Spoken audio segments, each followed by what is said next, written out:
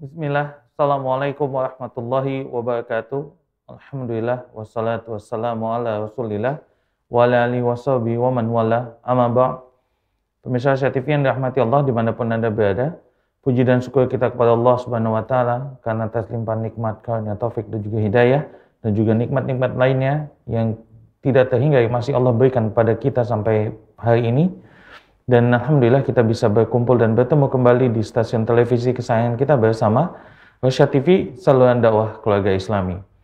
Dan tak lupa, semoga salawat dan salam senantiasa tercurah untuk uswah sana kita, makhluk termulia yang pernah hidup di atas dunia, Nabi kita Nabi besar Muhammad Sallallahu Alaihi Wasallam, dan semoga salawat itu senantiasa tersambung untuk istri-istri beliau, sahabat-sahabat beliau, keluarga-keluarga beliau, dan juga orang-orang yang teguh memegang dan menjalankan sunnah beliau sampai hari kiamat nanti. Pemirsa Asia TV yang dirahmati Allah di mana pun Anda berada, seperti biasa insya Allah Ta'ala setiap pekannya pada hari eh, Kamis, kita bertemu kembali di kajian online live streaming persembahan dari Asia TV dan Alhamdulillah hari ini pertemuan kita kalau biasanya memberikan Ustadz akan memberikan materi Hari ini selama satu setengah jam, insya Allah ta'ala kita akan membuka sesi konsultasi parenting. Bagi Anda semua pemirsa TV yang ingin bertanya, silakan bisa langsung untuk bertanya di line telepon 0822 88886630. Kami ulangi di 0822 88886630. Atau bagi Anda yang saat ini sudah menyaksikan siaran ini, baik itu lewat layar televisi Anda ataupun lewat platform digital lainnya seperti Facebook, YouTube, Instagram, silakan untuk memberikan pertanyaan di kolom komentar. Dan insya Allah ta'ala nanti tim akan menyampaikan pertanyaan pada kami dan akan kami bacakan untuk uh, dijawab oleh Ustadz. Dan insya Allah ta'ala jika waktu masih ada, semua pertanyaan akan bisa kami sampaikan. Dan sebelum mulai kami juga mohon maaf jika nanti tidak semua pertanyaan bisa kami sampaikan dengan keterbatasan waktu dan juga kami menyesuaikan tema dengan materi-materi yang sudah disampaikan oleh Ustadz sebelumnya. Baik pemirsa TV yang dirahmati Allah di mana pun Anda berada, kita akan coba cek sambungan kita terlebih dahulu dengan guru kita Ustadz Abu Salma Muhammad Hafizullah Ta'ala dari kediaman beliau di Depok. Assalamualaikum warahmatullahi wabarakatuh Ustadz. Ya, Waalaikumsalam warahmatullahi wabarakatuh. Gimana kabarnya Ustadz? Sehat Ustadz? Alhamdulillah Bang Giang sehat walafiat. Mudah-mudahan antum, keluarga, teman-teman, kru uh, dalam kondisi sehat semua ya. Alhamdulillah, insyaallah Ustaz. Baik. Dalam perlindungan Allah Subhanahu wa taala. Amin Ustaz. Baik Ustaz, hari ini kita akan membuka sesi konsultasi parenting ya Ustaz ya. Jadi tidak ada materi yang disampaikan ya Ustaz. Nah, jadi sebenarnya uh, mungkin lebih pasnya ini ya, tanya jawab aja ya. Uh -huh. uh, karena kalau konsultasi itu kan kayak oh, kayak apa ya? Kayak lebih berat gitu ya. Jadi yeah. kayak seakan-akan kita konsultan gitu padahal bukan. ah ya baik. Baik, jadi ini adalah tanya jawab seputar uh, materi yang sudah disampaikan sebelumnya Ustaz ya, bijak mendidik anak usia 2 sampai 7 tahun kurang lebih gulam ya Ustaz ya. Nah, betul. Baik Ustaz, kalau gitu kita akan segera mulai untuk masuk pertanyaan pertama, boleh Ustaz? Iya, boleh. Baik. Silakan. Baik Ustaz. Alhamdulillah ini kita sudah masuk uh, pertanyaan ke tempat kami bersama admin dan kita akan bacakan pertanyaan pertama terlebih dahulu. Bismillah. Assalamualaikum warahmatullahi wabarakatuh. Afwan admin, Ana buat pertanyaan untuk sesi tanya jawab bersama Ustadz Abu Sam Hafizullah. Semoga Allah mudahkan Ustadz untuk menjawab pertanyaan Ana. Anak Ana sekarang usia dua setengah tahun, sudah terbiasa nonton kartun di YouTube. Ini memang kesalahan Ana sebagai orang tua membiasakan dari dini karena dengan memberikan tontonan di YouTube, anak-anak tidak rewel. Dan sekarang ini, anak sudah coba untuk usahakan agar tidak terbiasa untuk nonton YouTube lagi. Cuman agak kesulitan, karena anak-anak selalu nangis minta nonton YouTube.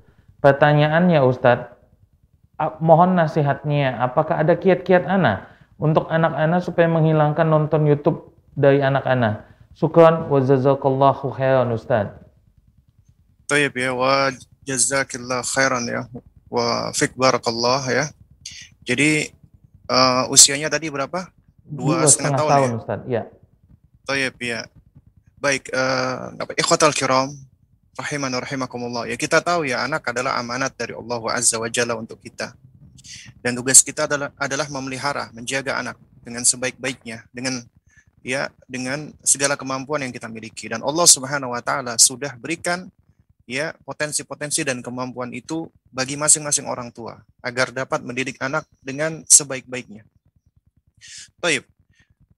Uh, bagaimana kita menyikapi anak usia dua setengah tahun yang sudah terbiasa nonton YouTube. Jadi yang perlu saya sampaikan di sini, ya, anak usia dua setengah tahun itu insya Allah jauh lebih mudah untuk diubah kebiasaannya daripada usia-usia setelahnya. Apalagi kalau udah udah di usia di atas tujuh tahun, ya, di atas tujuh tahun atau mungkin ya uh, usia sudah di atas uh, 10 tahun ya. Karena itu tentunya akan lebih sulit lagi anak-anak di usia dini itu kalau diibaratkan dia itu masih seperti dahan atau ranting yang basah yang masih muda ya.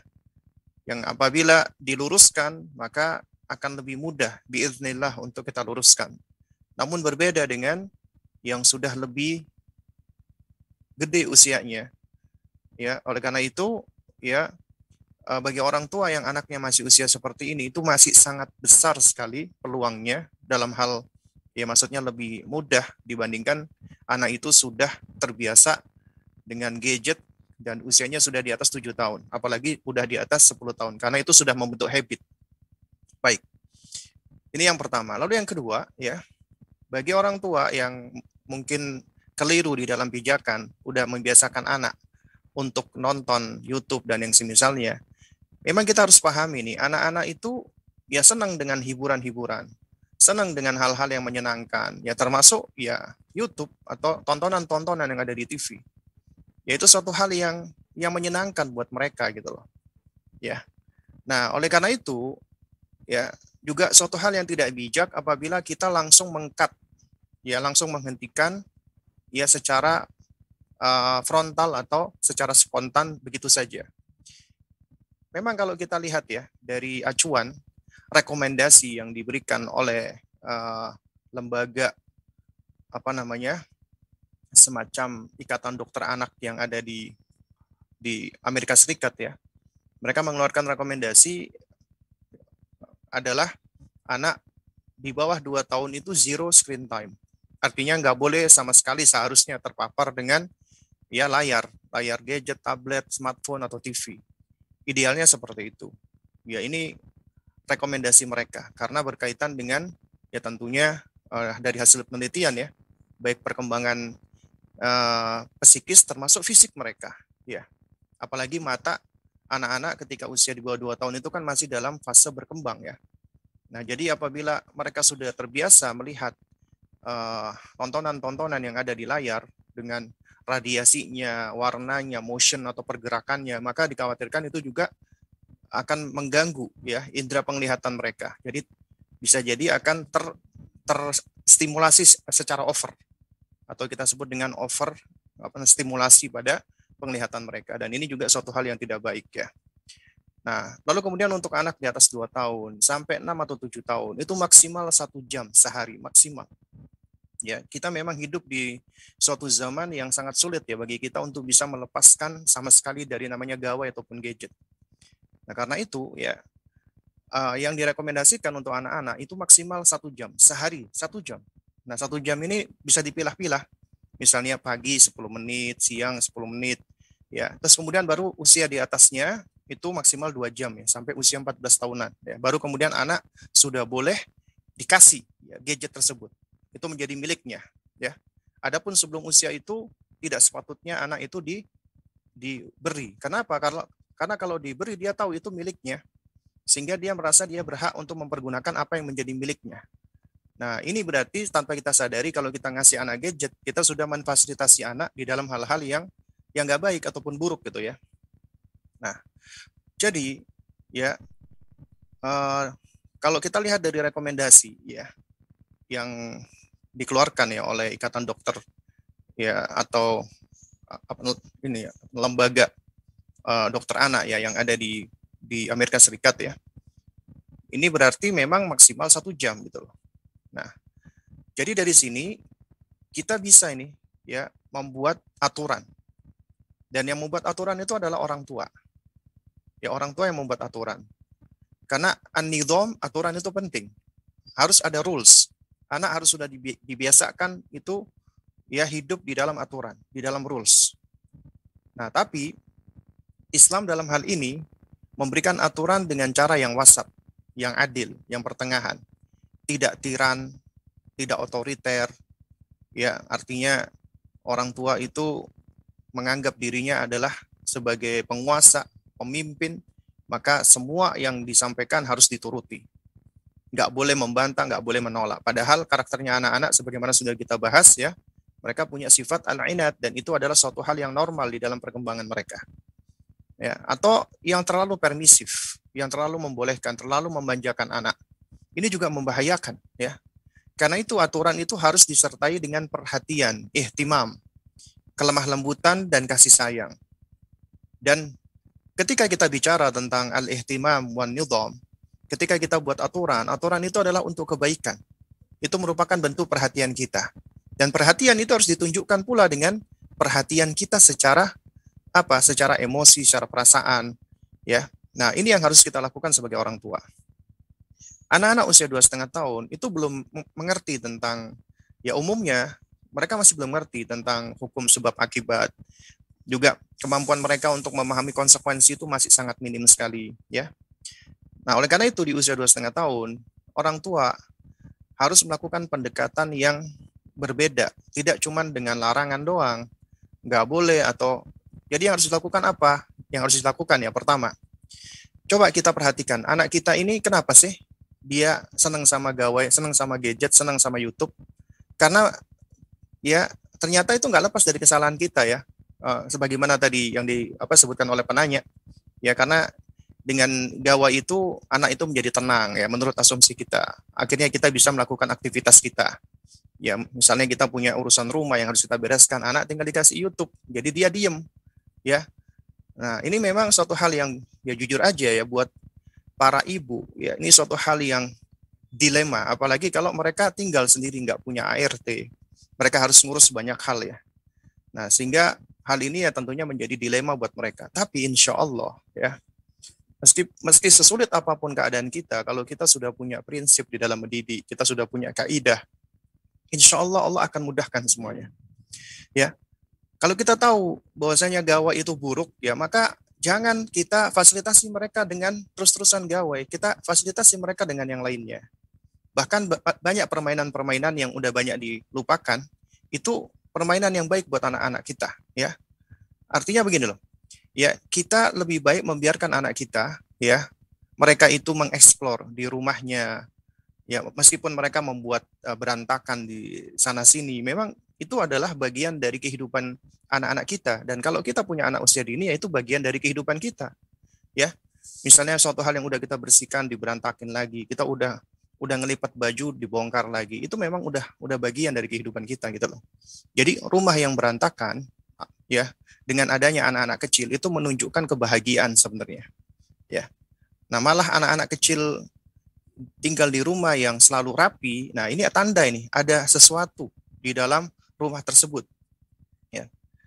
Nah, oleh karena itu ya, kita berikan ke anak kita itu ya kesempatan dia untuk untuk untuk mengeksplor rumahnya ya. Jadi kita fasilitasi dia. Kita biarkan dia mau bermain dengan permainan apa pun asalkan tidak berbahaya ya dan juga tidak melanggar syariat. Ya, biarkan dia uh, mengekspor yang ada di sekelilingnya dan kalau perlu kita cari nih permainan-permainan yang yang bermanfaat ini. Ya, semacam apa namanya? semacam uh, mainan bongkar pasang ya atau balok-balokan atau Lego atau yang semisalnya ya. Yang mana itu adalah permainan-permainan yang yang uh, secara ya dari observasi dan penelitian itu memang memiliki manfaat gitu loh untuk perkembangan anak. Nah, ini di antara yang dilakukan. Terus kemudian juga ya harus cari waktu, bukan cari lagi, harus meluangkan waktu buat anak kita. Karena di tengah kesibukan kita, kita juga harus meluangkan waktu. Ya, bukan mencari waktu luang, tapi meluangkan waktu untuk anak kita. Dan apalagi ini untuk ibu apa termasuk ayahnya ya. Supaya anak ini dia ada waktu-waktu orang tuanya itu bermain dengannya. Dan yang perlu kita pahami ya, ya khotal kirom. Ya, kebersamaan kita dengan anak kita itu tidaklah abadi. Ya, itu hanya sementara. Ya. Dan fase anak kita itu menjadi anak-anak itu hanya sebentar. Ya, karena sering kali tanpa kita sadari tiba-tiba anak kita itu sudah gede, sudah sudah besar aja gitu, sudah dewasa bahkan. Dan akhirnya kita banyak kehilangan momen. Momen-momen yang seharusnya bisa menjadi memori yang indah buat kita dan anak kita dan momen yang bisa menjadikan ya uh, momen tersebut adalah suatu hal yang memberikan manfaat ya buat anak kita dan juga untuk diri kita gitu loh. Nah, jadi itu yang sering kali dilupakan atau dilalaikan serta diabaikan oleh para orang tua ya.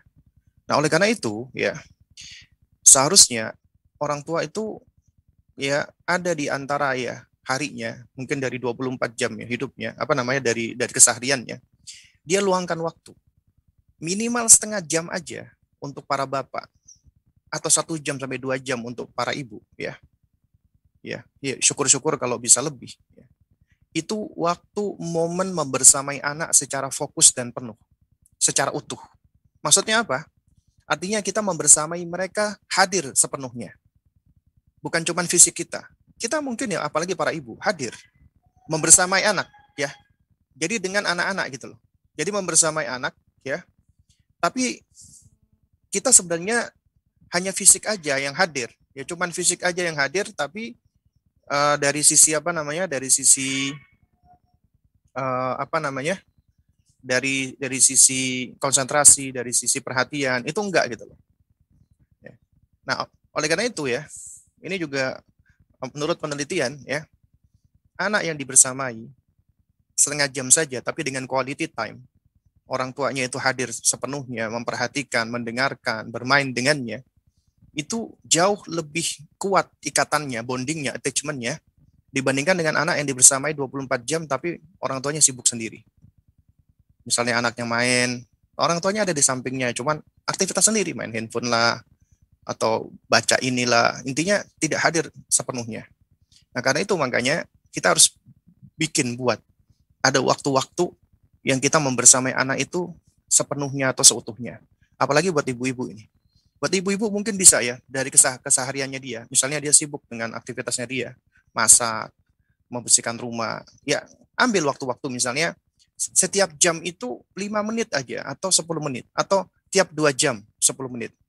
Dia melakukan aktivitas, lalu kemudian dia berhenti dulu, rehat dulu, kemudian dia bermain dengan anaknya namanya membersamai anaknya secara utuh penuh. Itu jauh lebih bermanfaat. Nah, terus kemudian yang nasihat saya yang ketiga ya, sebagaimana para orang tua itu bersabar dalam tanda kutip ya, bersabar di dalam pembiaran anaknya itu lengket dengan gawai atau gadget atau dengan YouTube atau yang semisalnya, itu selama berbulan-bulan bahkan bertahun-tahun, maka demikian pula kita sebagai orang tua juga harus sabar dong ketika kita hendak melepaskan kelekatan tersebut. Ya. Kenapa? Karena kita yang sudah melekatkan mereka. Tidak bisa langsung kita cabut begitu saja. Kalau kita ibaratkan ya misalnya Anda menempel sesuatu ya dan itu akhirnya tertempel dengan kuat ya kemudian Anda cabut dengan keras itu akan menyebabkan ada yang rusak, ada yang lepas, ada yang luka gitu loh. Tapi kalau Anda lepas pelan-pelan, pelan-pelan ya. Seperti contohnya misalnya ya, ini ada luka ini luka ya kemudian dipasang plester misalnya. Nah, itu yang benar adalah dilepas pelan-pelan ya. Pelan-pelan agar tidak berasa begitu sakit. Kalau langsung ditarik ceprak gitu ya, itu kadang-kadang uh, lukanya yang seharusnya tadi sembuh malah sebenarnya belum sembuh, malah ketarik, malah apa malah membuka luka baru atau luka lama yang sudah tertutup kebuka lagi gitu loh. Jadi yang tepat adalah apa? Adalah ya kita pelan-pelan, kita sabar, ya. Dan alhamdulillah anak anda masih dua setengah tahun. Itu usia yang masih sangat mudah sekali, insya Allah untuk dialihkan. Tinggal bagaimana kita berikan dia alternatifnya. Ya, pertama berikan dia perhatian, tentunya ya. kemudian bersama dia dengan bermain, ya, kemudian berikan aturan. Misalnya anak memaksa dia pengen lihat YouTube, ya, kita harus jelaskan, ya. Misalnya kita punya aturan maksimal dia sehari setengah jam atau satu jam lah, ya. Ya, itu kita buat aturan, aturan, kita ajarkan dia, kita kasih tahu, ya, adik boleh nonton YouTube hanya pagi hari, jam jam segini sampai jam segini. Kita tunjukkan. Anak-anak itu, masya Allah, punya kemampuan memahami luar biasa meskipun masih anak-anak. Ya, dan kita harus tega dalam tanda kutip ya, tega dalam hal kebaikan. Meskipun dia menangis, ya, meskipun dia menangis, ya, jangan sampai aturan yang sudah kita buat akhirnya kita batalkan gara-gara mendengarkan anak kita nangis biarkan. Nah, baru kemudian setelah itu kita melakukan namanya pendekatan lagi ya. Kita dia menangis, sedih biarkan dia menangis karena dia sedang belajar untuk untuk apa? Untuk uh, menghadapi kesedihan dia, menghadapi apa namanya? kecewanya dia. Perlu anak-anak belajar. Anak-anak perlu belajar untuk kecewa, perlu belajar untuk sedih. Ya, dia perlu belajar untuk menghadapi ini semua karena ini bagian dari kehidupan dia yang akan dia hadapi. Nah, tinggal kita bagaimana caranya ya me, apa regulasi ya, mengajarkan supaya anak itu mampu untuk ya mengatur itu semua. Tentunya mulai dari memahami dulu. Oleh karena itu pendekatannya ibu ketika anaknya lagi sedih, lagi nangis, ya ya kita biarkan dia nangis, kita dekati, kita pangku, kita peluk, kemudian kita sampaikan. Ya, yaitu apa? Kita validasi perasaannya, berempati. Umi tahu kamu sedih, Umi tahu kamu kecewa, Umi tahu kamu pengen lihat YouTube, Umi tahu kamu kepengen ini gitu ya. Itu artinya ketika kita sampaikan seperti ini berarti ya anak ini merasa dia dipahami gitu loh. Nah, baru kemudian setelah kita validasi, perasaannya, kita akui, ya iktiraf dengan perasaan dia, ya. Terus kemudian kita tunjukkan ya kasih sayang kita, ya di antaranya dengan gestur, dengan dengan apa namanya, dengan uh, ekspresi wajah, dengan gerakan, dengan dengan memeluk atau mengusap tubuhnya, kemudian kita pandang wajahnya, kemudian kita sampaikan, Umi sayang sama kamu, ya, Umi sayang sama kamu, kak, ya. Terus baru kemudian kita sampaikan, ya. Nah, karena Umi sayang sama kamu ya. Jadi Umi kepengen kamu bermain yang lain. Tidak hanya nonton YouTube tidak hanya ini ya. Nah ini. Nah oleh karena itu makanya kamu Umi belikan mainan ini. Ya, kita kasih dia mainan ya. Boneka robot-robotan atau yang lainnya misalnya. Atau yang kalau kalau perlu buku. Itu malah malah lebih bagus lagi. Ada buku buat anak-anak yang buku board itu ya agar mereka senang cinta dengan yang namanya aktivitas belajar dan apa namanya membaca. Ya dan dan kita luangkan waktu. Ya minimal sehari itu ada waktu kita untuk membukakan buku, dan kita ceritakan isi buku tersebut. Ya asalkan buku-buku yang baik ya. Ya. Nah lalu kemudian jangan lupa berdoa kepada Allah. Doa minta agar kita senantiasa diberikan keistiqomahan dan kesabaran. Dan agar kita senantiasa diberikan antusiasme untuk terus belajar Ya Allah alam Baik, jazakallah khairan barakallahu fikum Ustaz atas jawabannya. Pemirsa TV yang dirahmati Allah, kami kembali mengundang Anda untuk bisa bertanya kepada Ustadz di sesi tanya jawab pada pekan kali ini. Silakan untuk bertanya di line telepon 0822 88886630. Kami ulangi di 0822 88886630. Sambil menunggu penelpon, kita akan bacakan pertanyaan berikutnya. Dan Alhamdulillah ada penelpon yang sudah tersambung. Ternyata kita coba sapa terlebih dulu. Penelpon pertama kita di pagi kali ini. Assalamualaikum warahmatullahi wabarakatuh. Waalaikumsalam warahmatullahi wabarakatuh. Dengan Ibu siapa ya. di mana? Saya dari Umu Nizam dari Bondowoso Jatim. Iya, Umu Nizam di Bondowoso Jatim. Silakan Umu Nizam untuk langsung bertanya kepada Ustadz. Iya, Assalamualaikum Ustadz. Abu Salma. Ya, Waalaikumsalam warahmatullahi wabarakatuh. Masya Allah dari iya. dari Bondowoso ya Bu? Iya Ustaz. Kebetulan kemarin kan pernah ke Bondowoso ya saya juga menghadiri kajian Ustaz satu tahun kemarin oh, iya, ya. Iya. Oh iya, Masya Allah. Iya. Iya Ustaz, begini Ustaz saya ini kan mempunyai anak asuh ya, anak sepupu saya itu meninggal, sepupu saya itu meninggal Jadi dia itu nggak punya siapa-siapa, nggak punya saudara. Sekarang udah kelas 1 SMP, ditinggalkan sama orang tuanya mulai dari kelas 4 SD, terus kelas 5 SD selang 2 tahun neneknya juga meninggal. Dia juga broken home ya Ustadz.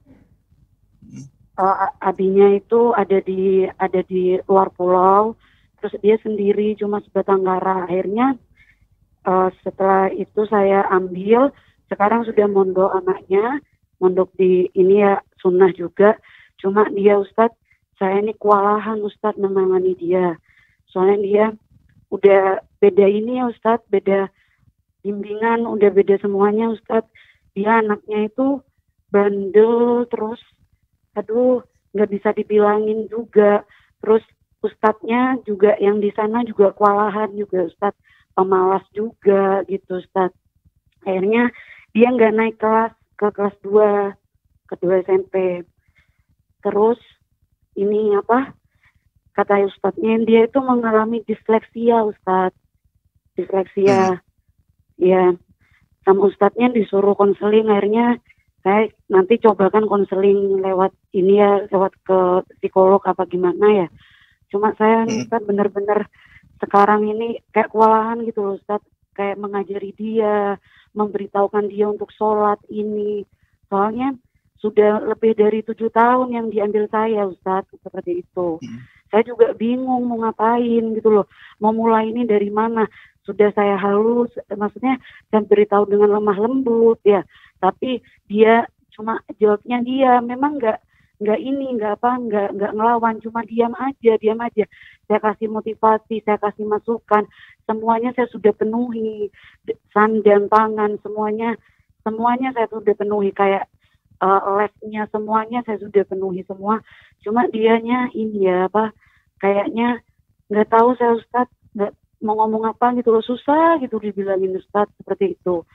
Untuk belajar untuk apa itu nggak ada semangat gitu loh Ustadz sampai uh, Ustadznya yang di pondok itu kemarin saya dapat panggilan kalau misalnya tetap seperti ini Ananda tetap tetap seperti ini terpaksa kita keluarkan dari pondok gitu loh. Sedangkan saya itu juga kebingungan kalau keluar dari pondok. Dia nggak semahram sama saya Ustaz. Seperti itu kan. Saya juga kebingungan gitu loh. Sehari-hari gimana ya saya juga bernikop seperti itu gitu loh Ustaz. Dengan adanya dia mondok itu itu jadi apa ya kayak jadi berkurang gitu loh Ustaz ini saya di rumah seperti itu loh Ustaz ya mohon solusinya ya Ustaz ya nah ya Ustaz ya gitu gitu aja ya Ustaz ya Makasih jazak jazakallah khairan Ustaz. Baik. Untuk jazakillah khair ya. Ya. Baik, apa namanya? Uh, ini sebenarnya memang problem yang ini ya, yang cukup pelik sebenarnya ya. Dikarenakan yang pertama anak tersebut adalah bukan anak kandung ya, namun adalah anak asuh ya. Ya. Dan tadi uh, itu anaknya siapa tadi tuh anak saudaranya berarti ya? anak ya? sepupunya Ustaz oh anak sepupunya anak sepupu dari anak beliau berarti jatuhnya memang bukan mahram bukan ya mahram ya Dan, uh, jadi juga juga juga jadi kendala juga ya dalam hal ini toyib ya ya uh, di sini ya mungkin ada beberapa poin ya yaitu poin yang pertama berkaitan dengan uh, sang penanya atau sebagai walinya. Poin yang kedua berkaitan dengan sang anak tadi ya. Baik, eh, berkaitan dengan sang anak dulu ya. Kalau apa tadi disampaikan bahwa kemungkinan besar anak ini mengalami disleksia ya. Dan kalau kita bicara tentang tentang disleksia ya, ini memang ya suatu apa ya kalau dikatakan memang suatu apa namanya kelainan sebenarnya ya dalam tanda kutip ya. Jadi memang para ahli ya ini apa sejauh pengetahuan saya itu belum ada yang tahu ya penyebab pastinya ya. Ya. Nah, ini dikarenakan apa? Dikarenakan memang anak-anak disleksia itu adalah anak-anak yang unik ya. Keunikan mereka itu adalah apa? Uh, mereka itu punya uh, kinerja otak di dalam memahami suatu informasi itu yang berbeda dengan anak-anak lainnya. Nah, sering kali anak-anak disleksia itu mereka itu apa namanya? Uh, mungkin bisa dikatakan ya terlambat ya atau atau sulit untuk memahami informasi-informasi khususnya dalam hal bahasa atau komunikasi. Baik itu bahasa verbal ataupun bahasa tulisan, baik bahasa lisan ataupun bahasa tulisan. Ya. Nah, itu kalau dari pengetahuan saya biasanya anak-anak disleksia ini ketika dibawa ke psikolog biasanya ditanya itu tentang riwayat keluarganya. Ya biasanya seperti itu. Jadi ditanya tentang situasinya, ya tentang kondisi keluarga dengan siapa dia tinggal, lalu bagaimana keadaannya ya, lalu kemudian bagaimana apa namanya perkembangan anak ini mulai mulai dari bayi ketika bayi sempat sakit apa atau ada gangguan apa, bahkan mulai dari semenjak ketika ibunya hamil itu uh, mengalami anu enggak sakit atau gangguan, kemudian ketika kelahiran itu bagaimana, apakah lancar, normal, lalu kemudian juga ditanya lagi ke uh, riwayat keluarga, apakah riwayat keluarga itu ada hal-hal yang yang semisal ya. Nah ini ini memang memang cukup panjang ya kalau kita berbicara tentang anak-anak uh, apa namanya disleksia. Nah itu anak-anak disleksia ini memang yang perlu kita pahami ya sebelum kita melakukan pendekatan kepada anak ya, kita memang harus tahu dulu ini bagaimana kondisi anak tersebut ya.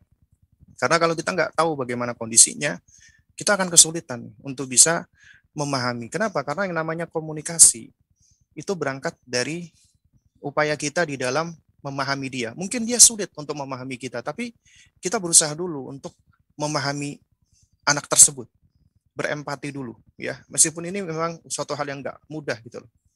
Nah, biasanya anak-anak anak-anak apa namanya disleksia itu dia lebih cenderung untuk mengalami keterlambatan bicara ya dibandingkan anak-anak lainnya. Bukan cuma mengalami keterlambatan bicara, anak-anak seperti ini juga dia mengalami kesulitan untuk untuk memahami informasi. Ya. Jadi dia untuk memproses sesuatu yang dia dengar, yang dia lihat, ya itu itu butuh waktu gitu loh. Nah, oleh karena itu nggak heran anak-anak disleksia ini ketika misalnya dia melakukan hal yang keliru, dia dia diomelin, dia tuh diem atau dia dikasih tahu dia tuh diem. Ya, nah diemnya ini itu sering kali disalahpahami gitu loh. Ya, dianggap mungkin anak ini sudah ngerti, padahal enggak gitu loh. Padahal ini anak itu sebenarnya dia sedang memproses maklumat, dia sedang memproses informasi yang masuk ya. Nah, dan anak-anak seperti ini memang dia mengalami gangguan. Gangguannya adalah uh, kemampuannya dia untuk untuk memproses informasi itu tidak sebagaimana anak-anak lainnya. Dan demikian pula ketika dia merespon. Ketika dia hendak merespon, ketika dia hendak menjawab, ya, itu juga sama, ya. Mereka kadang-kadang itu kesulitan untuk mengekspresikan perasaannya, mengemukakan gagasannya, menyampaikan isi hatinya, ya. Bahkan juga mereka kesulitan untuk memilih diksi atau kata-kata, ya. Makanya anak-anak seperti ini biasanya apa ya? Uh, dia itu uh, memang punya kesulitan. Bahkan dalam hal membaca saja itu juga juga sulit gitu loh. Baca. Bahkan itu juga di dalam uh, sejumlah penelitian ya itu anak-anak disleksia itu mereka kesulitan tuh untuk apa namanya untuk um, membedakan ya huruf B atau D. Bahkan dia membedakan bagian kanan sama kirinya saja itu bingung. Ini ini di antara ciri anak disleksia. Bagian kanan atau kirinya. Makanya ketika dikasih instruksi, ayo makan pakai tangan kanan, dia kadang-kadang bingung, mana tangan kananku, mana tangan kiriku. Nah, padahal ya para ulama di antara uh, apa namanya definisi ya yang yang mereka berikan berkaitan dengan temis itu adalah anak-anak yang sudah bisa membedakan kanan dan kirinya. Sementara anak disleksia itu sering kali dia kesulitan ya untuk membedakan antara kanan dan kiri. Terus kemudian juga mereka juga kesulitan untuk berkonsentrasi, untuk mengingat sesuatu.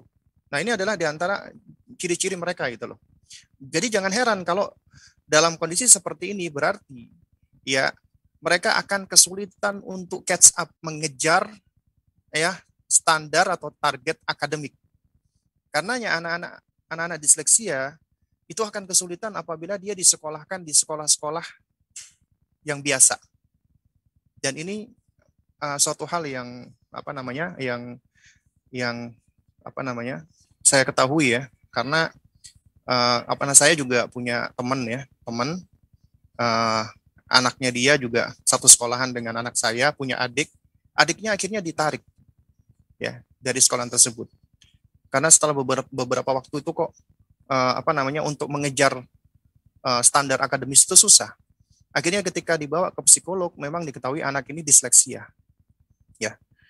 Dan memang untuk menangani anak disleksia itu membutuhkan kesabaran yang luar biasa. Ya.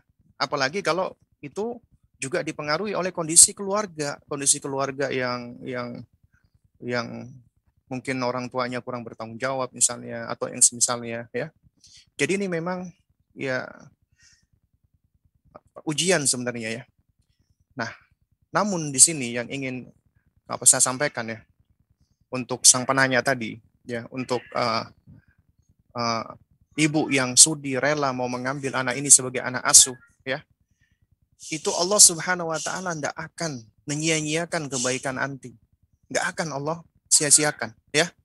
Jadi ketika anti mau rela ya untuk mengambil dia sebagai anak asuh, ya ini adalah bagian dari upaya yang yang insya Allah taala bisa menjadi ya bekal kebaikan yang akan senantiasa me, apa namanya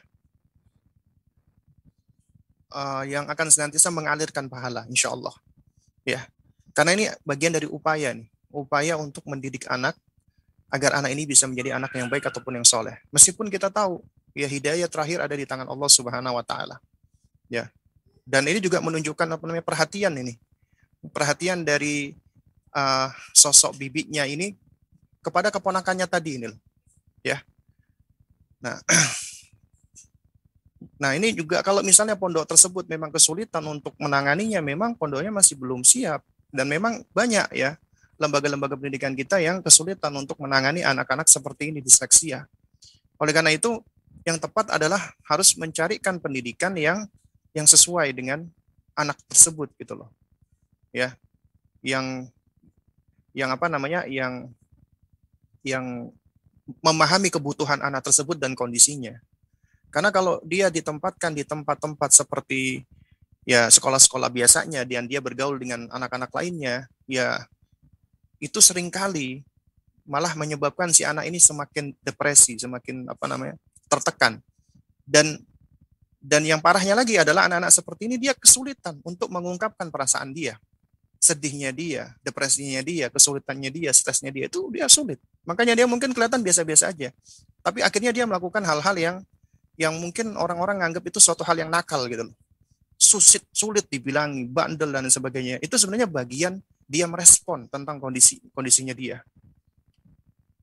Nah, jadi kalau misalnya pondoknya itu uh, uh, apa namanya mengangkat tangan, ya ini memang memang ya suatu hal yang nggak bisa disalahkan gitu loh karena memang tidak semua pondok apalagi dengan banyaknya murid itu bisa menghandle anak seperti ini. Nasihat saya adalah ya kalau bisa kita coba cari informasi nih di daerah kita misalnya di Bondowoso dan sekitarnya ada nggak lembaga-lembaga yang bisa mendidik atau mengajar atau bisa memberikan arahan untuk kita berkaitan dengan apa?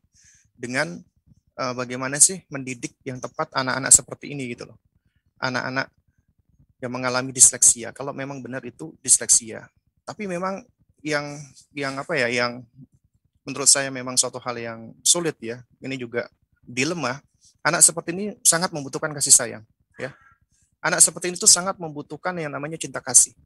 Bukan hanya sayang secara verbal, tapi juga butuh dia itu untuk untuk diperhatikan, untuk dipeluk, untuk di ya intinya menunjukkan kasih sayang ke anak ini gitu loh.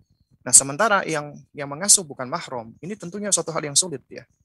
Nah, ya mungkin dalam hal ini bisa melibatkan kita minta tolong kepada suami misalnya atau atau ke orang lain ya yang sama-sama laki-laki yang bisa kita minta tolong untuk untuk mau untuk uh, bersabar apa namanya membimbing dia memperhatikan dia. Karena anak-anak seperti ini insya Allah taala dia akan lebih bisa diarahkan. Kalau ada orang yang memang fokus mau bersabar mengarahkan dia dan senantiasa menunjukkan kesabaran dan kasih sayang. Ya. Ya, jadi uh, Allah taala alam ya.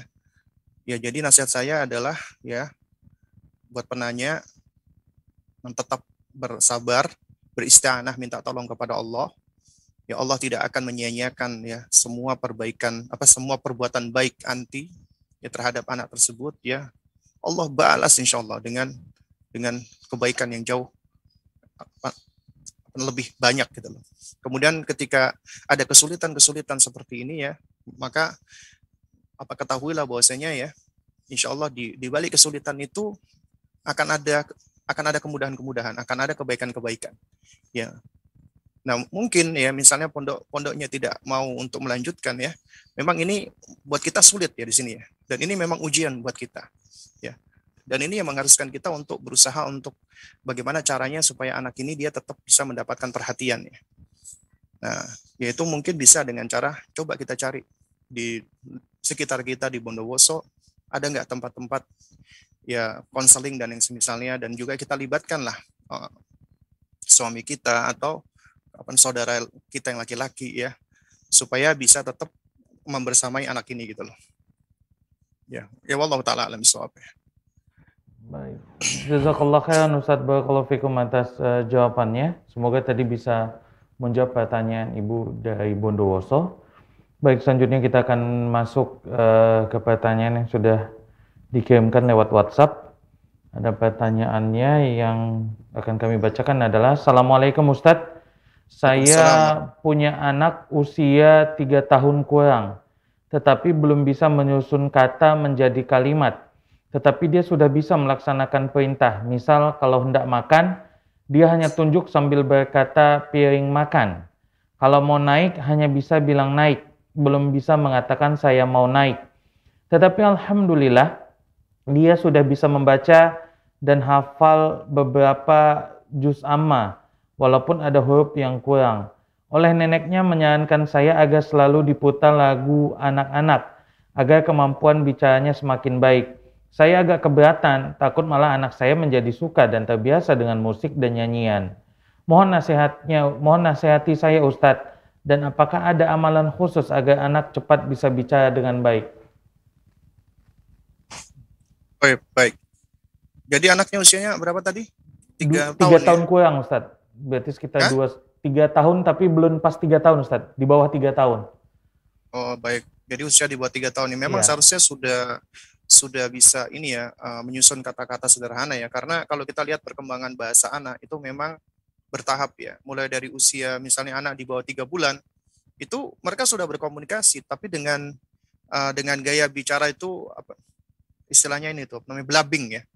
Ya blabbing itu uh, dia hanya mengeluarkan suara-suara gitu yang enggak yang enggak jelas yang menunjukkan uh, bayi itu begitu lucunya ya ketika dia uh, blabbing ya. Jadi dia uh, apa namanya mengeluarkan suara-suara yang unik dari mulutnya ya. Terus kemudian ketika sudah masuk ke bulan ke-6 baru dia sudah mengeluarkan ini ya. Apa satu suku kata biasanya. Ma pa ba pa ya. Jadi seperti itu. Nah Terus kemudian juga dia sampai berkembang di berikutnya di tiga bulan berikutnya ya. Di usia uh, menginjak ke bulan ke sembilan baru baru dia sudah bisa ya memberikan respon-respon dengan perkataan yang yang satu kata ya yang simple. Ndak mau mam mamam gitu misalnya ya. Nah itu biasanya di, di usia 9 bulan ya. Terus baru kemudian usia satu tahun baru dia sudah bisa manggil meskipun kadang-kadang apa namanya pronunciation-nya kurang jelas ya. Papa mama abi.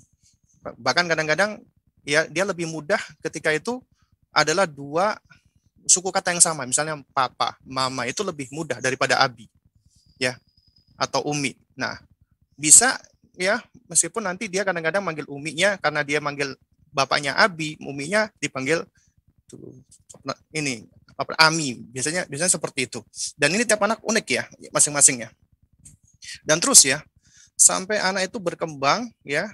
Jadi sampai uh, kalau kita perhatikan di dalam ini ya di dalam uh, sifat-sifat atau karakteristik yang disebutkan oleh Dr. Ahmad Nasir Atoyar yang nanti di karakteristik yang ke-10 atau ke-11, mereka tuh memiliki kemampuan menyerap bahasa yang sangat luar biasa sekali. Ya. Jadi kemampuan mereka untuk menyerap uh, bahasa itu sangat luar biasa sekali. Nah, apalagi usia anak ya tiga tahunan itu kemampuan dia untuk menyerap kata itu sangat luar biasa gitu loh. Nah, oleh karena itu, apabila kita perhatikan ya ada anak-anak kita misalnya di usia-usia dua tahun lebih, tapi ternyata uh, dia masih sedikit ngomongnya atau kurang jelas bicaranya. Nah ini berarti sudah ada problem. Ya, maksud saya ini sudah ada uh, indikasi problem atau apa namanya masalah. Di antaranya speech delay. Speech delay ini banyak faktornya ya.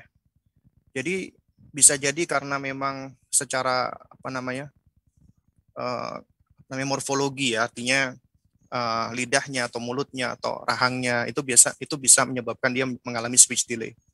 Atau bisa jadi pula karena pola asuh. Ini yang paling banyak. Di antaranya anak-anak yang sering mengalami speech delay adalah anak-anak yang terlalu di overstimulasi dengan suatu aktivitas.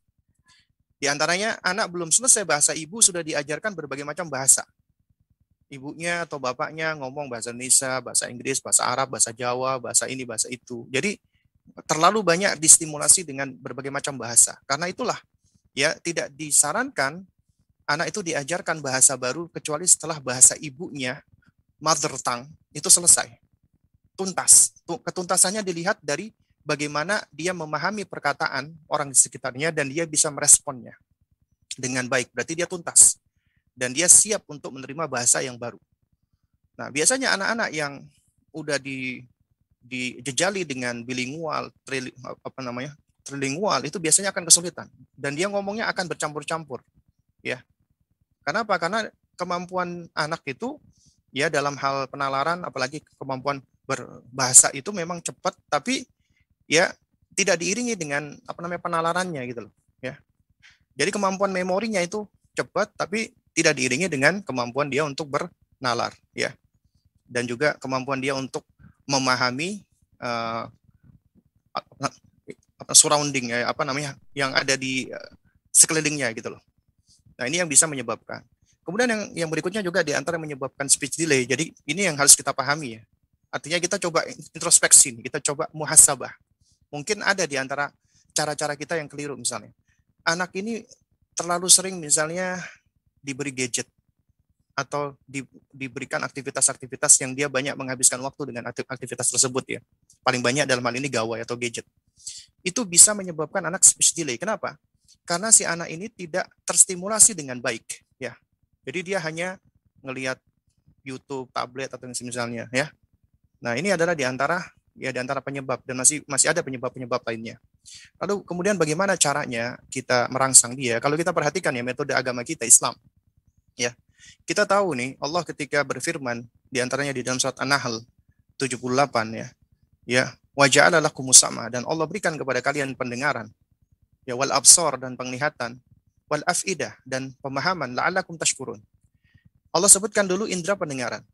Dan para ulama menerangkan indera yang pertama kali berkembang pada anak-anak adalah pendengaran.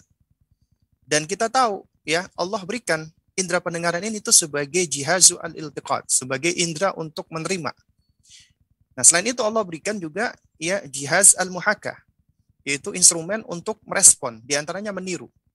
Oleh karena itu kemampuan belajarnya anak manusia bahkan sebagian hewan juga sama ya karena ini sesuatu yang bisa dipelajari dengan cara mengamati ya termasuk mendengar dia akan mengulangi kata yang sering dia dengarkan makanya di usia anak ketika dia masih disusui 0 sampai 2 tahun itu fokus kita adalah kita memperbanyak tasmi' ya tasmi' wa talqin nah al-hafidz Ibnu Qayyim rahimahullah sendiri pun beliau ya menasehatkan ya ya yaitu kata beliau ya dan apabila anak itu sudah masuk usia dia berbicara, ya, maka hendaknya ya talkinkan dia agar yang pertama kali masuk ke indera pendengarannya adalah kalimat la ilaha illallah. Ya. Talkin dia bolak-balik kita talkin agar yang pertama kali dia dengarkan adalah kalimat-kalimat thayyibah. Nah, terus kemudian apa namanya? yang yang juga enggak kalah penting lagi adalah kalau kita melihat ini anak mengalami speech delay ya, itu juga tidak salah kalau kita bawa anak kita untuk diperiksa di orang yang ahli di apa di dalam bidangnya yaitu di dalam hal misalnya apa namanya tumbuh kembang anak ya yang memang dokter apa dokter anak atau dokter tumbuh kembang anak agar bisa melihat nih agar bisa mendiagnosa ini problemnya apa di sini. Akhirnya kita akan diberikan masukan-masukan. Nah, di antara masukan yang sering kali diberikan itu adalah apa? Adalah kita hendaknya lebih banyak ketika berbicara dengan anak ya, kita berbicara dengan bahasa yang baik dan benar, dengan intonasi yang benar, yang jelas ya. Lalu kemudian kita ajak dia ngobrol, anak kita. Ya, kita ajak dia ngobrol, lalu kemudian jangan memaksa dia untuk berbicara ya kita sabar kita menunggu dia. Kalau perlu kita kita apa kita tarik dia ya kita bujuk dia uh, maksudnya kita rangsang dia untuk merespon dengan perkataan.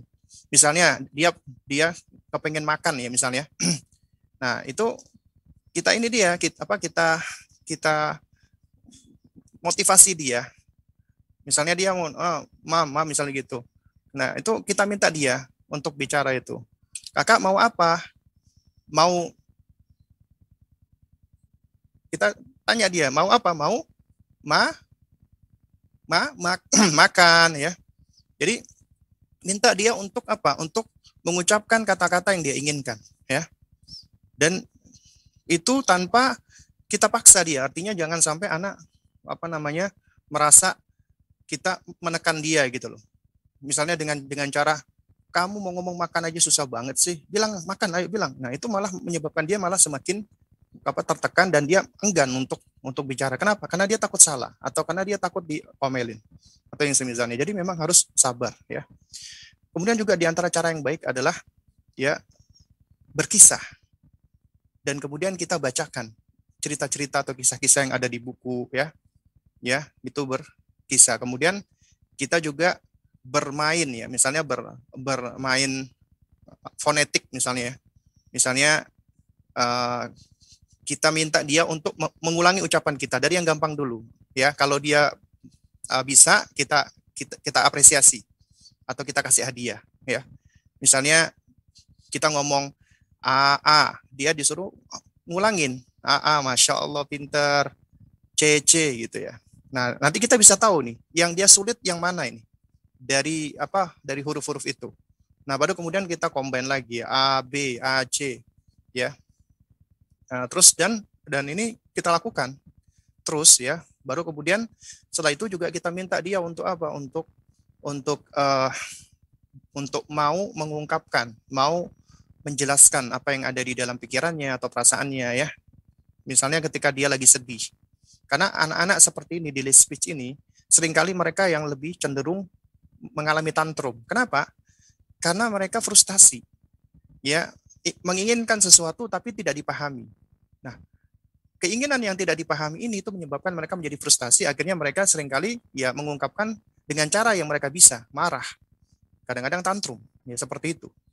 Nah, oleh karena itu makanya tugas kita juga selain melatih bahasa juga meregulasi emosinya. Jadi jangan kita paksa dia, jangan kita apa tekan dia supaya dia bisa dan seterusnya. Nah, jadi ini di antara cara-caranya.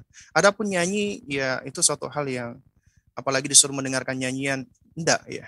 Karena kita tahu ya nyanyian-nyanyian dengan musik itu adalah suatu hal yang yang haram. Tapi kalau uh, bersyair ataupun uh, nyanyi hanya nada saja ya tanpa ada musiknya ya ini sejauh pengetahuan saya adalah suatu hal yang tidak haram ya.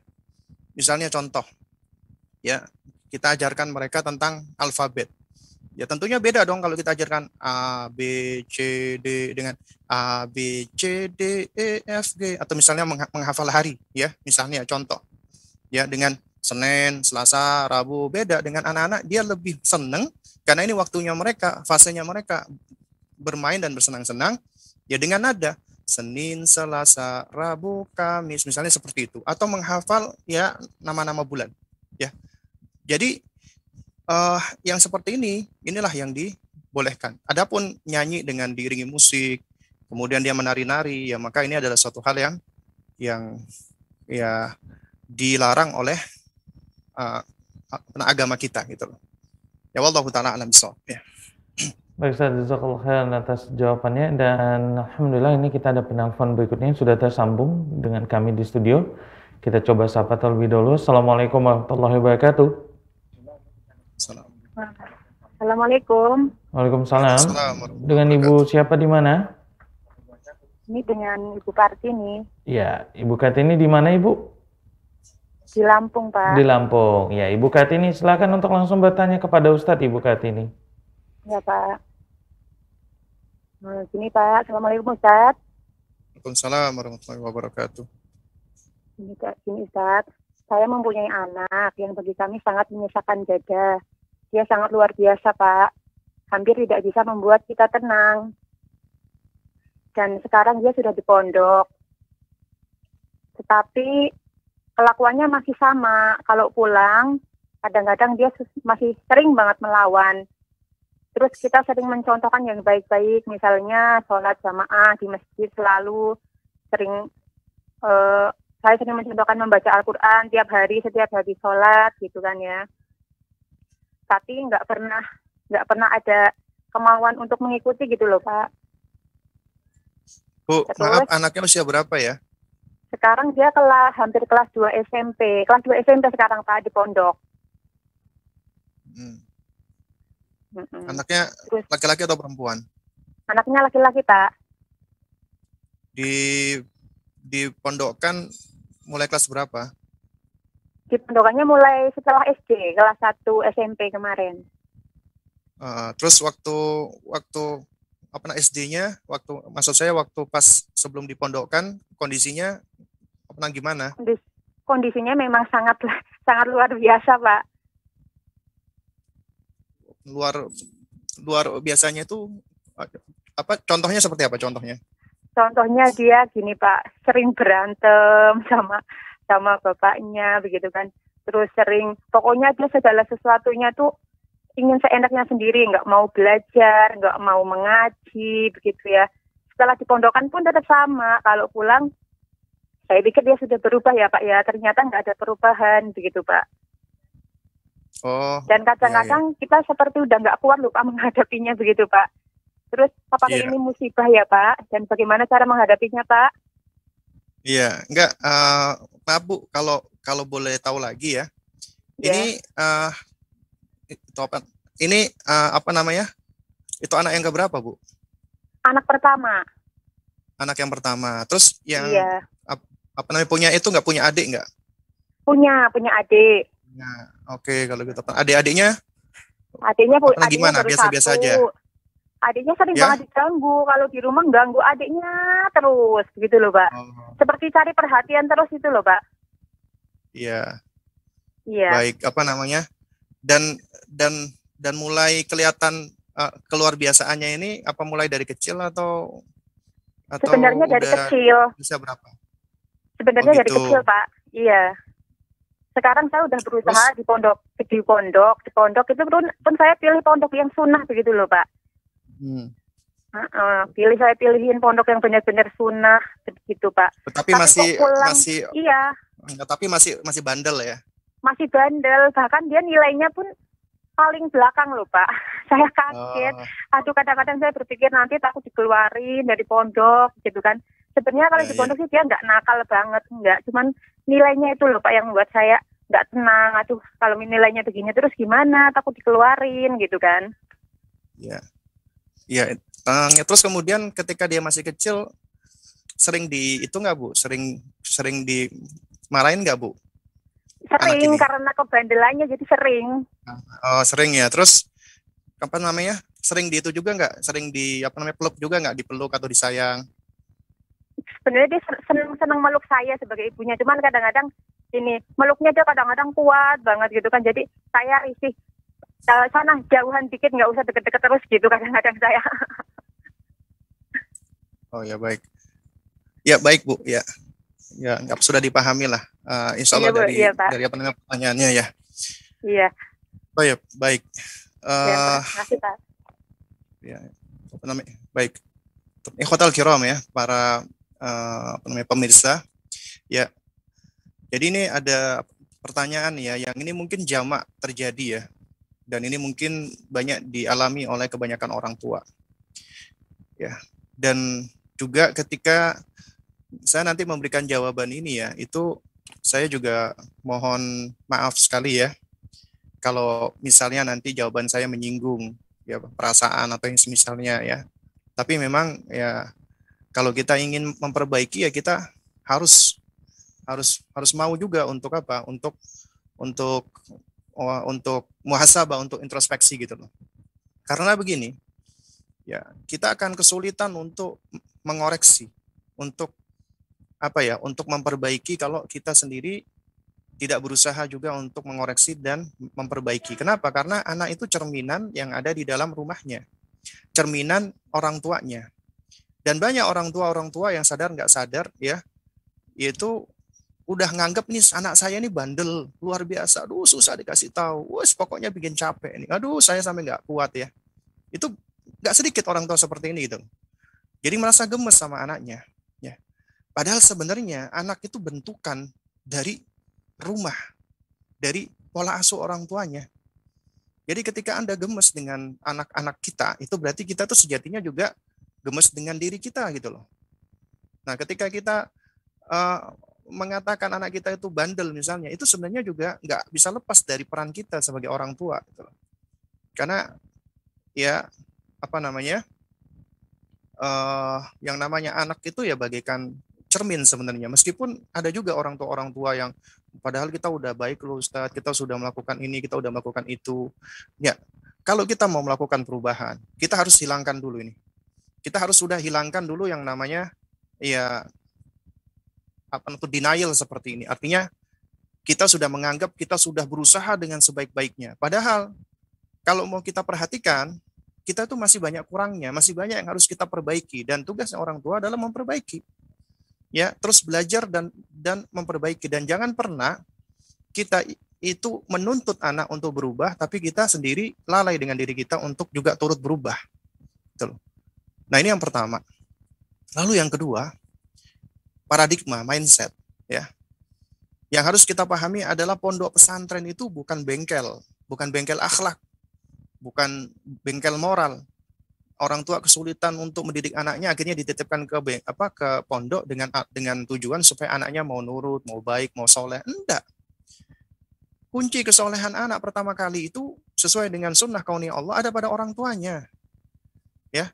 Dan ini memang berat ya dan mendidik anak memang suatu hal yang nggak mudah berat memang. Tapi di situ letaknya perjuangannya di situ yang namanya ya letak ya jihadnya di jalan Allah ketika kita mendidik anak-anak kita. Karena kata para ulama ya sebagaimana uh, dikatakan oleh Syekh Saleh Fauzan Al Fauzan tentang mendidik anak termasuk jihad fisabilillah jihad di jalan Allah. Nggak ada namanya jihad itu nyantai ya. Ini kita ingin mendidik anak menjadi anak soleh. Nggak bisa dengan cara apa namanya mendadak. Mendadak anak-anak kita tiba-tiba menjadi soleh. Enggak itu nggak bisa.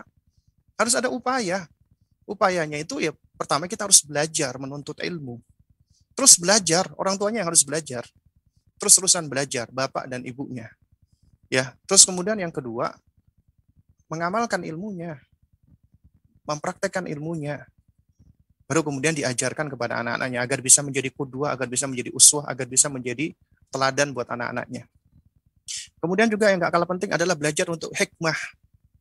Hikmah itu ya artinya adalah ya di antaranya ya, fi'lun ma bagi alal wajh alladhi bagi fil waqti alladhi bagi kita melakukan sesuatu dengan benar tepat dengan caranya yang juga benar dan juga di waktu yang benar. Di antara hikmah itu kita harus ngerti tentang anak fase perkembangannya. Kita harus berusaha untuk apa namanya kita juga harus berusaha ini untuk bisa ya apa namanya uh, mengambil hati anak ya mendekati anak. Karena kebanyakan orang tua pengen mengoreksi anak tapi nggak diawali dulu dengan membangun alakoh membangun bonding attachment membangun ikatan ya membangun koneksi. Makanya yang namanya perbaikan itu harus diawali dulu dengan dengan membangun koneksi gitu loh. Dan kita juga harus belajar berempati dengan anak kita. Kita berusaha menempatkan diri sebagai anak kita. Kita senang nggak sih kalau misalnya kita di di apa misalnya uh, di diomelin atau diperlakukan seperti ini. Gini loh. Seringkali anak-anak itu mereka tampak bandel itu sebenarnya nggak lepas dari respon mereka kepada yang ada di sekelilingnya. Kita kurang perhatian, kita kurang menunjukkan apa uh, cinta kasih ya. Mungkin menurut kita kita sudah tapi sebenarnya belum gitu loh. Dan banyak yang nggak sadar ya. Kemudian juga kita apa terlalu keras atau kita juga apa terlalu membanding-bandingkan atau kita apa terlalu apa namanya sering menuntut anak dan seterusnya gitu loh. Nah ini yang sering kali dialami oleh banyak orang tua ya nah karena itu ya kalau nasihat saya untuk penanya dan juga untuk yang lainnya ya yang pertama kali harus kita lakukan adalah apa? Kita perbaiki dulu ya diri kita sebagai orang tua. Ini harus kalau Anda ingin memperbaiki anak Anda, kita awali dulu dengan memperbaiki diri kita semua. Masing-masing kita. Kita awali dengan bertaubat kepada Allah, istighfar kepada Allah. Ya, kita minta maaf kepada Allah, minta ampun kepada Allah karena anak amanat dari Allah. Dan amanat itu, Bu, yang Allah berikan kepada kita, nggak mungkin kita nggak sanggup untuk melaksanakannya, nggak mungkin. Ketika Allah Subhanahu Wa Taala memberikan amanat kepada kita, termasuk anak, itu kita pasti sanggup untuk mendidiknya dengan sebaik-baiknya, pasti itu. Karena Allah nggak mungkin membebani seseorang melebihi daripada kapasitasnya, nggak mungkin. Allah itu maha adil dan Allah maha tahu. Ya. Yang paling baik buat kita, Allah tahu. Ketika Allah berikan anak kita tersebut, ya itu memang ujian buat orang tuanya ya itu juga bisa menjadi fitnah buat orang tuanya. Nah, tinggal bagaimana kita ya menjalankan amanat tersebut. Karena apabila kita tidak menjalankan amanat itu dengan sebaik-baiknya, anak kita bisa menjadi musuh buat orang tuanya di dunia dan di akhirat. Ya. Tapi kalau kita jalankan dengan sebaik-baiknya, anak kita bisa menjadi apa namanya? Qurratul uyun, penyejuk mata buat orang tuanya di dunia dan di akhirat. Ya. Ya, jadi awali dulu dengan bertobat kepada Allah. Kemudian banyak berdoa kepada Allah, minta hidayah kepada Allah. Kemudian yang ketiga terus belajar. Terus belajar, menuntut ilmu, termasuk belajar ilmu tentang pengasuhan, tentang pendidikan anak yang yang yang memang ya saat ini banyak orang tua ya itu ketika belum menikah itu belajar masya Allah ilmu pernikahan dan lain sebagainya. Tapi ketika sudah menikah banyak yang nggak mau belajar tentang ilmu mendidik anak. Padahal itu penting. Dan ibadah paling panjang adalah ketika kita berkeluarga dan kita mendidik anak kita. Itu yang ibadah yang paling lama. Ya. Nah, terus kemudian setelah itu kita lakukan pendekatan yang baik dengan cara yang hikmah. Anak Anda di usia seperti ini itu enggak sudah enggak lagi sama seperti anak di usia sebelumnya. Ya beda. Ya karena tiap fase itu punya sifat-sifat dan dengan cara yang beda-beda, pendekatannya beda-beda. Makanya ya para ulama itu menerangkan la'ib ibnaka fi sab'in wa adibhu fi sab'in wa sahibhu fi sab'in. Bermain dengan anakmu di tujuh tahun pertama. Di tujuh tahun pertama itu diajak main. Makanya anak yang di tujuh tahun pertama itu misalnya nggak dibersamai mainnya atau dilarang mainnya atau dibiarkan begitu saja tanpa ada perhatian kita, itu biasanya akan lepas attachment, bondingnya. Ya. Dan ini menjadi penyebab krusial jauhnya komunikasi dan ikatan antara orang tua dengan anak di usia tujuh tahun pertama. Ibu itu ikatannya kuat sama anak. Mulai dari dia di apa bertumbuh di rahimnya selama, 9 bulan, kemudian dilahirkan, kemudian disusui selama dua tahun. Itu attachmentnya itu kuat, bondingnya kuat. Punya attachment dan bonding yang sangat kuat sekali. Tapi sering kali setelah anak itu sudah lahir, ya baru kemudian inilah yang menjadi ujian yang sebenarnya. Yang attachment ini udah mulai lepas pelan-pelan. Kenapa? Karena kurang ilmu dan kurang sabar menghadapi anak.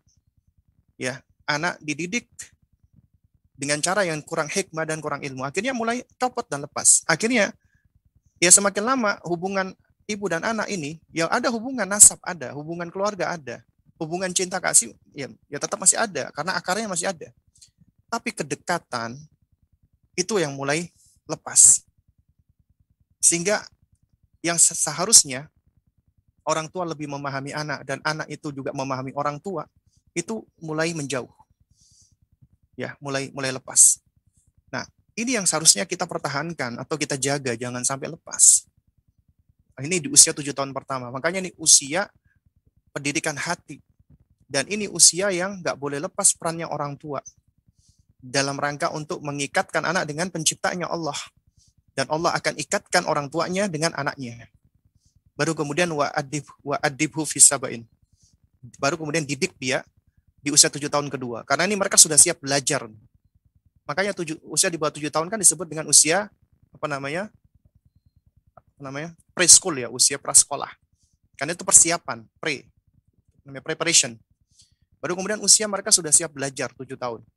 Sampai 14 tahun, tujuh tahun ketiga jadi sahabat. Karena dia sudah balik. Udah dewasa sebenarnya. Nah, kita menempatkan diri seperti sahabat buat anak kita tadi gitu loh.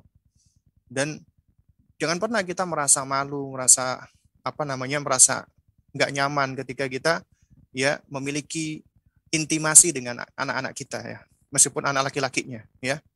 Karena itu suatu hal yang tidak terlarang ya. Ya, ya asalkan masih dalam batasan. Kayak misalnya memeluk anak ya, mengecup anak meskipun itu anak laki-laki. Kadang-kadang ada ibu-ibu nih anaknya sudah SMA laki-laki, dia enggan untuk untuk memeluk anaknya. Padahal itu anaknya darah dagingnya gitu loh. Kenapa? Di antaranya karena sudah mulai apa menyusut ya. Yang namanya ikatan yang ada di dalam dirinya. Ketika dia masih bayi begitu sayangnya dia. Ketika dia sudah gede dia merasa kayak tabu gitu kan. Padahal enggak Rasulullah SAW itu ketika anaknya Fatimah radhiyallahu taala anha datang Nabi itu bangkit dari tempat duduknya bahagia. Disambut itu ya Fatimah. Kemudian digandeng tangannya, kemudian dikecup, dipeluk dan dipersilahkan duduk di atas tempat duduknya. Itu Rasulullah Wasallam, gitu loh. Nah, jadi ya kalau uh, dari saya, ya nasihat saya adalah ya kita sebagai orang tua yang harus lebih banyak untuk muhasabah introspeksi, memperbaiki diri, terus belajar, ajak suaminya juga belajar, lakukan pendekatan yang yang berbeda sesuai dengan fase usianya tadi. Wallahu alam ya.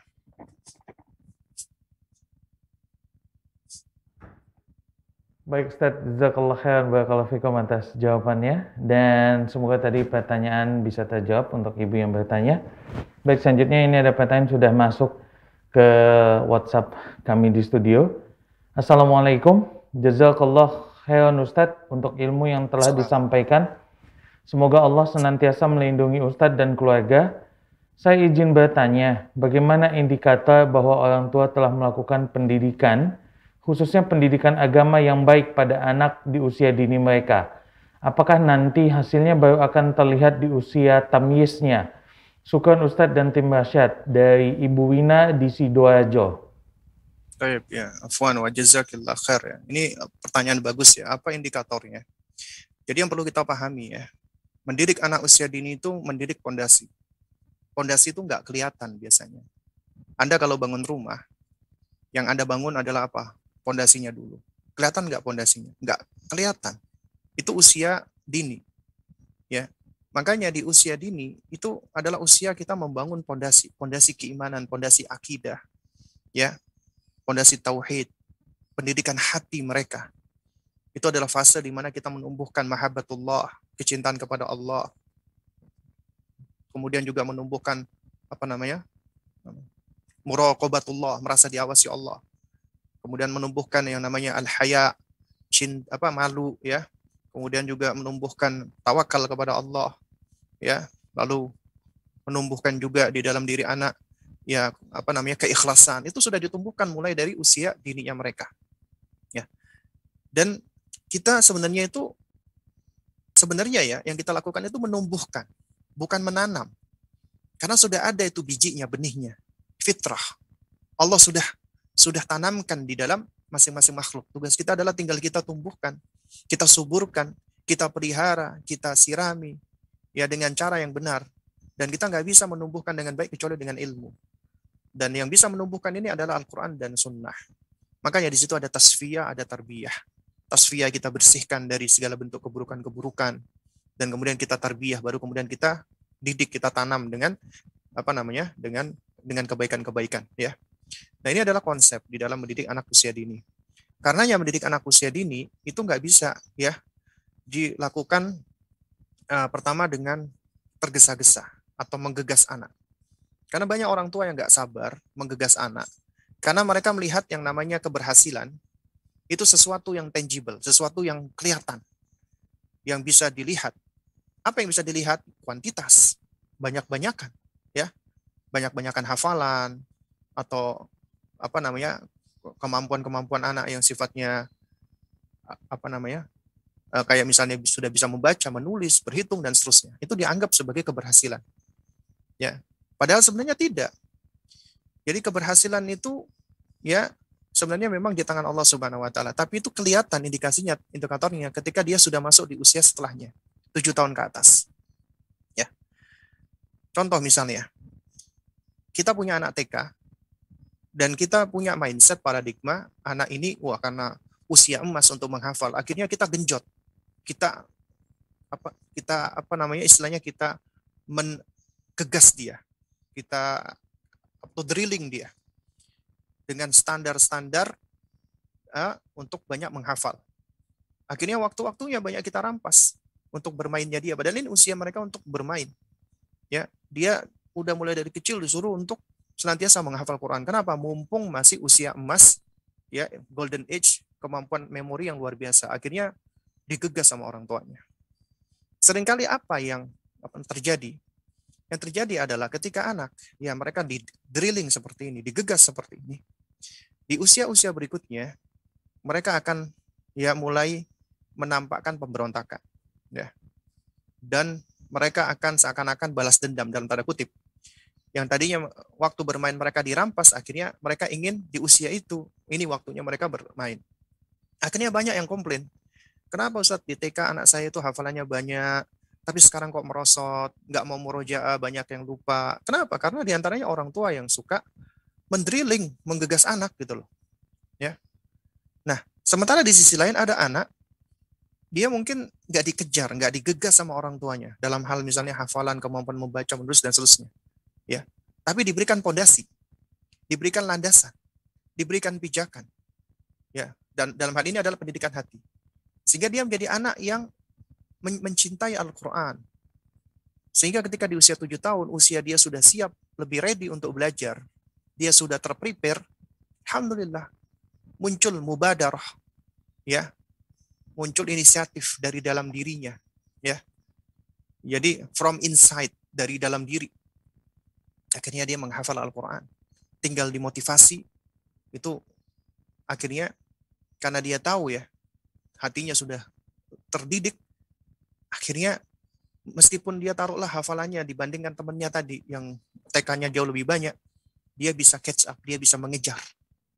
Bahkan jauh lebih lebih cepat dan jauh lebih banyak di usia tersebut. Ya. Nah, jadi yang perlu kita pahami adalah ya uh, memang untuk melihat indikasi anak-anak di usia dini itu memang suatu hal yang sulit. Kenapa? Karena ini perkara yang intangible sebenarnya, tidak tidak tampak. Tapi bisa sebenarnya, bisa kelihatan. Dari apa? Dari celotehan anak. Dari perilaku anak sehari-hari. Contoh misalnya. Ya ini ya dari dari sekolahan ya contoh ya dari apa, sekolah eh, kami misalnya ya. Ya itu banyak loh anak-anak yang tadinya awalnya ya uh, apa namanya uh, misalnya dia ketika sebelum ya sebelum sebelum dibiasakan dan sebelum belajar, dia apa namanya biasanya ketika berceloteh ya celoteh-celoteh biasa aja. Tapi setelah dia belajar, ya setelah dia diberikan pijakan, sekarang dia selalu ya ngomongnya, masya Allah, alhamdulillah umi, ada gitu, ya. Jadi banyak kalimat-kalimat toyibah yang keluar dari lisannya, dari celotehan-celotehannya gitu loh, ya.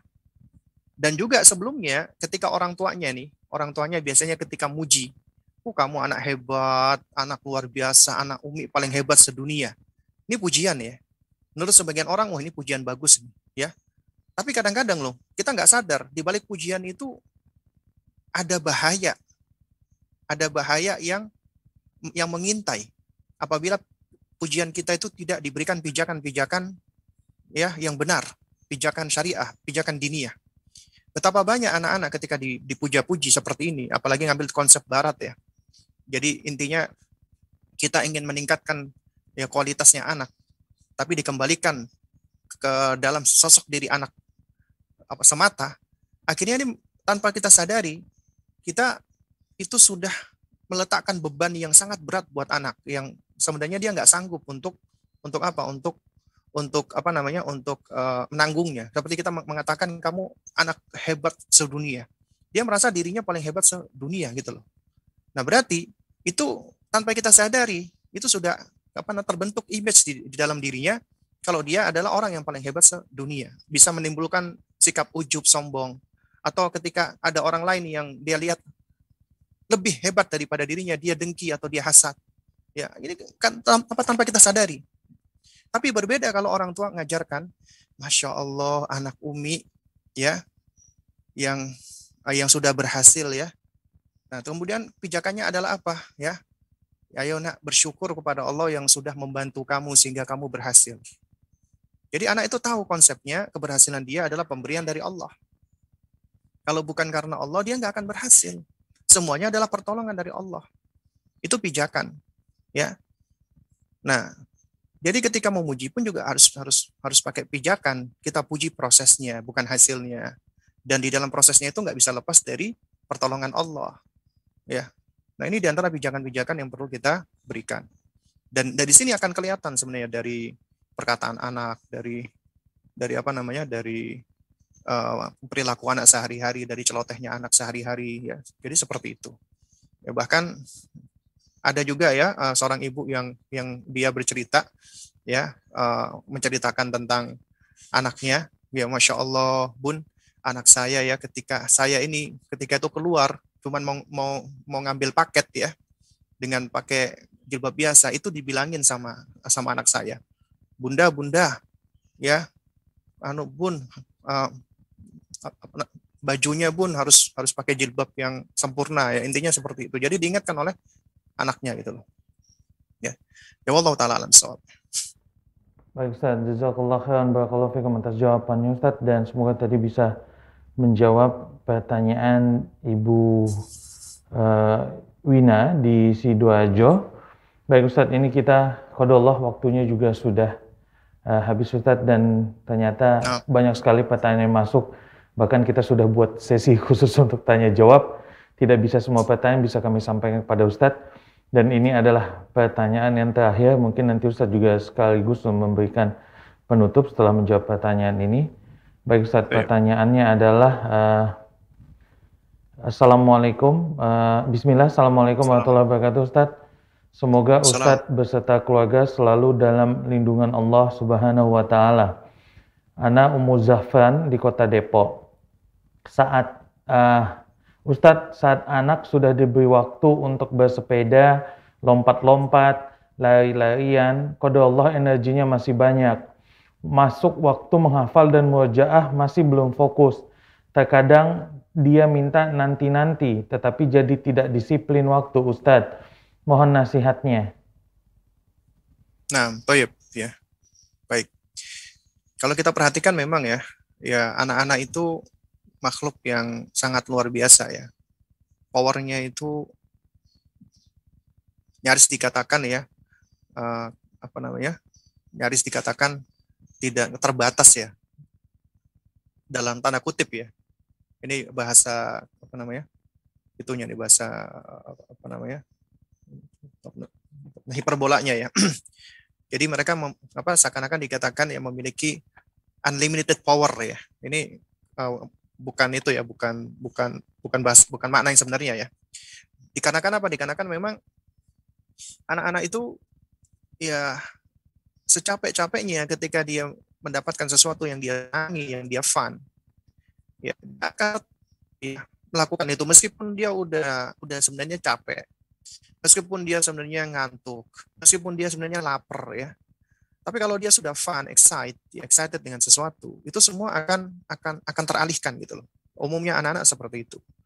Ya, terus kemudian yang kedua, memang di antara cara atau metode agar anak-anak itu bisa lebih fokus konsentrasi adalah kita memberikan aktivitas kepada anak-anak, aktivitas yang bersifat fisik ya, motorik ya, merangsang atau menstimulasi motorik termasuk motorik kasar dan motorik halusnya anak-anak. Karena kita tahu ya, anak-anak ini Allah sudah ciptakan di dalam dirinya ya uh, jasmani ya, fisik, ya, jasad. Ada tulangnya, ada dagingnya, ada ototnya, ada sarafnya. Dan itu berkembang. Dan itu perlu distimulasi. Agar mereka bisa bertumbuh dengan pertumbuhan yang dikatakan ya, yang normal. yang lurus perkembangannya ya dengan dengan pertumbuhan yang baik dan disadari atau nggak disadari dipahami atau nggak dipahami menstimulasi anak dengan dengan apa namanya dengan bermain ya yang bersifatnya physically itu bisa menjadi pondasi anak untuk belajar. Contoh misalnya, ketika menulis ya, anak itu kan butuh yang namanya uh, otot ya, otot-otot dan uh, saraf ya, otot-otot kecilnya ya, agar dia bisa menulis dengan dengan baik. Nah, menulis itu bukan hanya membutuhkan otot kecil, juga membutuhkan otot besar, postur tubuhnya dia. Ya, dan untuk membentuk postur tubuh agar bisa menulis yang baik, itu butuh latihan agar tubuhnya itu bisa duduk dengan tegak. Makanya kadang-kadang ada anak ya, duduknya itu posisinya agak miring, ada eh, skoliosis lah, ada apa namanya lordiosis dan semisalnya.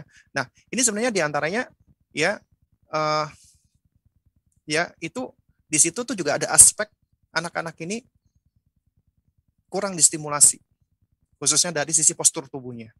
Karena postur tubuh misalnya yang agak bengkok dan sebagainya itu sebenarnya bisa bisa distimulasi agar bisa normal gitu loh.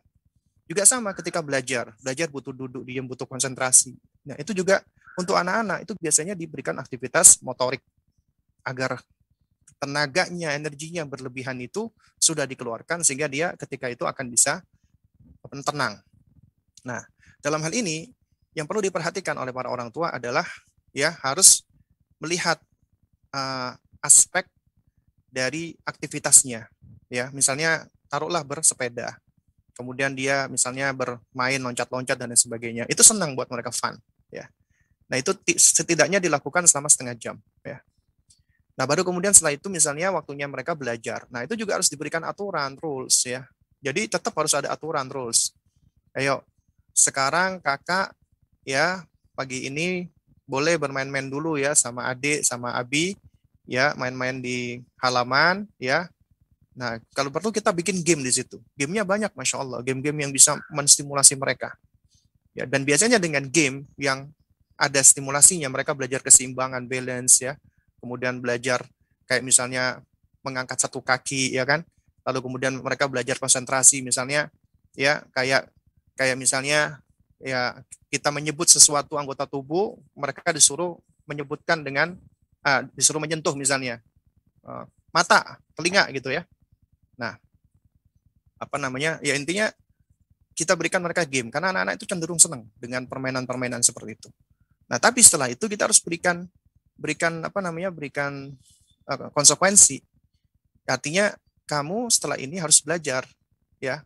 Kamu setelah ini harus harus apa namanya? misalnya murojaah ya atau kamu setelah ini harus uh, belajar ini atau belajar itu gitu loh. Nah, kalau mereka nggak mau, ya kita berikan konsekuensi. Ya, di antara konsekuensinya adalah ya kalau kamu nggak mau belajar hari ini setelah bermain, ya besok ya misalnya Umi Umi Umi oh Umi nggak mau main sama kamu misalnya. Atau misalnya tuh Abi juga nggak main sama kamu. Ya, ya intinya dikasih konsekuensi-konsekuensi yang dia harus pahami. Artinya untuk mendapatkan sesuatu yang dia inginkan, dia harus berusaha. Nah, itulah di antara uh, tugasnya atau gunanya rules, kita berikan aturan. Aturan itu sebelum kita terapkan, yang lebih baik adalah kita ajak mereka untuk bersepakat. Kenapa? Karena dengan bersepakat itu akan mengajarkan mereka banyak hal, banyak manfaat. Ya, mereka akan belajar untuk uh, untuk membela diri, mereka akan belajar untuk berargumentasi, mereka akan belajar untuk uh, apa namanya untuk mau bersepakat ya. mereka akan belajar untuk mau uh, apa namanya mau menerima konsekuensi-konsekuensi ya ataupun ya banyak lah intinya dari dengan kita ajak mereka untuk bersepakat tadi. Nah, lalu kemudian ya kita menerapkan sesuai dengan aturan yang sudah kita yang yang sudah kita buat gitu loh. Jadi ya kita ikut kesepakatan yang sudah kita bikin. Kalau anak melanggar berarti berikan dia konsekuensi. Ya sesuai dengan yang sudah disepakati agar agar mereka belajar. Belajar untuk dealing atau menghadapi kesalahan mereka gitu loh. Dan ya wallah alam ya ini mungkin yang bisa saya sampaikan. Ya kurang lebihnya saya mohon maaf jika ada hal-hal yang kurang berkenan. Ya dan uh, insya Allah taala nanti kita lanjutkan lagi di pertemuan kita. Ya Jadi insya Allah kita di pertemuan berikutnya kita akan masuk ke materi berikutnya. Ya, jadi uh, sebagaimana yang sudah saya sampaikan kepada teman-teman ya. Jadi kita insya Allah akan akan akan uh, memberikan materi selama dua atau tiga tiga apa namanya pekan ya. Jadi dua atau tiga tiga kali materi, kemudian baru setelah itu kita ada sesi tanya jawab khusus. Baru kemudian balik lagi ke materi dua atau tiga kali, baru kemudian nanti kita bertanya jawab seperti saat ini. Ya, jadi mungkin ini sebenarnya sesi tanya jawab ya, bukan sesi konsultasi ya. Karena kalau dikatakan konsultasi itu uh, saya masih masih belum mampu ya. Dan juga sebenarnya banyak pertanyaan-pertanyaan yang yang masuk itu juga saya sebenarnya tidak bisa menjawabnya ya. Dan ya mudah-mudahan yang sedikit ini bisa memberikan manfaatnya ya. Untuk penutupnya waktu dan tempat saya serahkan kembali kepada Bang Giang selaku pembawa acara. Baik Ustaz, jazakallah khairan barakallahu fikum Ustaz atas jawaban-jawaban yang sudah diberikan. Dan pemirsa TV yang dirahmati Allah di mana pun Anda berada seperti yang sudah disampaikan oleh guru kita tadi Ustadz Abu Salma Muhammad Hafizullah Ta'ala bahwasanya pertemuan kita pada pekan kali ini adalah tanya jawab seputar tema yang sudah dibahas sebelumnya yaitu bijak mendidik anak usia 2 sampai dengan 7 tahun atau gulam dan insya Allah Ta'ala pada pekan depan di hari yang sama yaitu pada hari Kamis jam 9.00 waktu Indonesia bagian Barat sampai dengan selesai. Insya Allah Ta'ala kita akan bertemu kembali untuk kembali seperti sesi sebelumnya yaitu Ustadz akan memberikan materi mengenai uh, tema khusus untuk parenting. Tentunya masih di kajian online live streaming persembahan Nusyat TV saluran dakwah keluarga islami. Kami seluruh kabar kerja yang bertugas, mohon maaf jika tidak semua pertanyaan bisa kami sampaikan dan bisa dijawab oleh Ustadz karena keterbatasan oleh waktu. Dan insya Allah ta'ala semoga di pertemuan selanjutnya pertanyaan bisa kami sampaikan kepada Ustadz.